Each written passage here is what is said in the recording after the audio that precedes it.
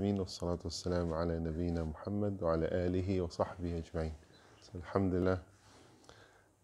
What month is this? Um, Muharram? Month of Muharram, mashallah.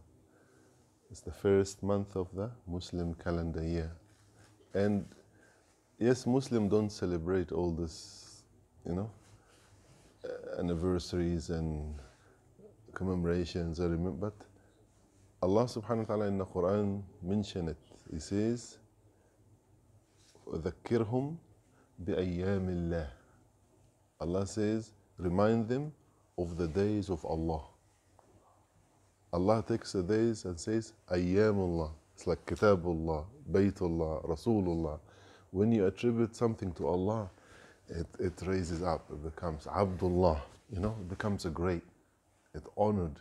So Allah says, remind them of these days and what happened in these days and the people who lived in these days and the believers who struggle in these days. And this is Muharram, Musa والسلام, and all the believers struggle and Muhammad sallallahu alayhi wasallam and the plan for hijrah and yeah, it happens also in Muharram. But because of we try to learn more about Sayyidina Musa alayhi salatu wasalam, many, many stories in the books of hadith about the followers of Musa. Quickly, inshallah, one of them about the travelers. There were three travelers. The Prophet ﷺ tell the story. Three travelers from the previous believers before Islam. And camels, horses, donkeys, no planes, no you know, cars, no trucks. And there's no hotels, no roads, you know. So you have to every night break, stop, yeah, and carry on, break, stop, carry on. And when you're traveling in the desert and between countries, can you imagine how wild it is? They have to look for a cave. Subhanallah. How Allah subhanahu wa ta'ala even designed the mountains full of caves, shelters. Yeah? So they look for a cave, clean up, and that's how the Prophet ﷺ received revelation. He was in a cave. Yeah?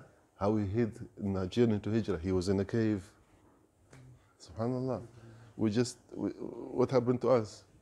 We just find a motel, find a hotel, call somebody in the city and yeah, get a mattress in that. Uh, how many different blessings we have that unimaginable 200 years ago.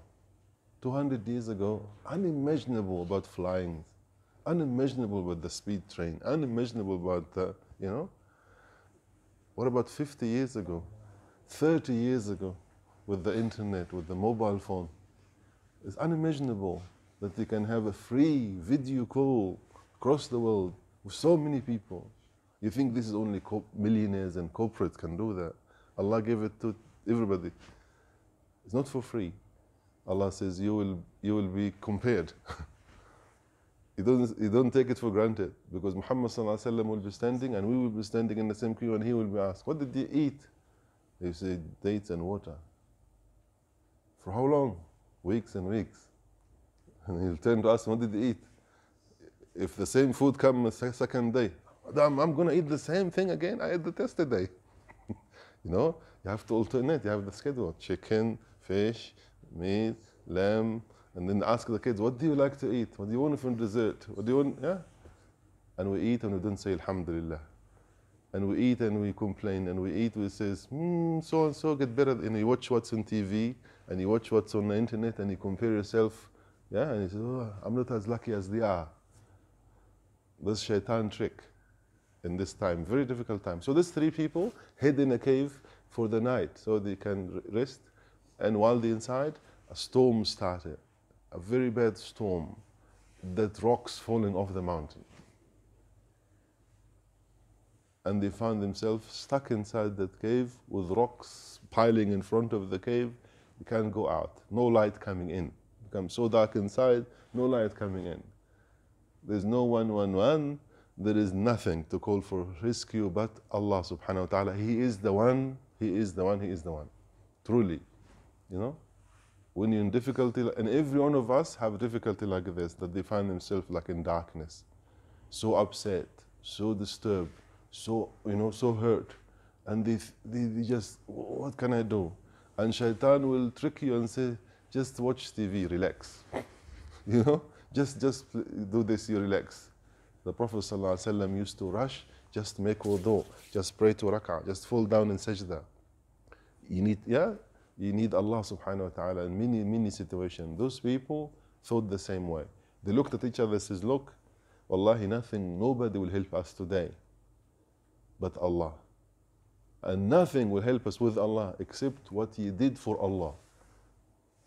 Very tricky question. Put 100 line under this one. What you did for Allah, it has to be 100% sincere for Allah to listen to you or look at you. If you did it because your mom looks and says, mm, MashaAllah, my son is so good, or for the teacher, or for your friends, or for your neighbors, or for the people in the masjid, if you did it for all that, it just tarnishes. You know, Allah says, He's making me equal to, you know, to his parents. He's making me equal to the people. He's making me equal to, yeah, this is very sad, but this also, shaitan is never asleep. Shaitan is always tricking. Even when you pray, he wants to look at it, make you pray something else. Even when you pay zakah and you pay sadaqah and you really, really good intention, he wants you to, to lose some of the good deed. Because it's a treasure. He wants to steal it away from us. So these people said, only sincere 100% for Allah will benefit you. So remember something you did in your life. So they go in a corner, everyone in a corner, and just thinking, what have I done in my last 20 years? What have I done that actually Allah may accept it? Yeah? What have I done? And that's the question every one of us ask all the time. What have I done in my life that Allah may accept? And then I hope in that good deed, oh Allah, please, because of that good deed, help me out, help my son, help my daughter, help my mom, my mom, my dad, whatever it is you want to ask Allah for. Yeah? So inshallah, tomorrow I'll tell you what did they say, because they remembered good deed that Allah subhanahu wa ta'ala gave them miracles in this case. May Allah subhanahu wa ta'ala strengthen our iman, increase our taqwa and knowledge. May Allah subhanahu wa ta'ala protect us and our family. May Allah subhanahu wa ta'ala save us from harm and difficulty. Ask Allah subhanahu wa ta'ala to help the ummah of Muhammad sallallahu alayhi wa sallam. We ask Allah subhanahu wa ta'ala to make us reason for this help and reason for the happiness of the ummah of Muhammad sallallahu alayhi wa sallam. Wa akhir da'wana alhamdulillah rabbil alamin wa jazakum Allah khair.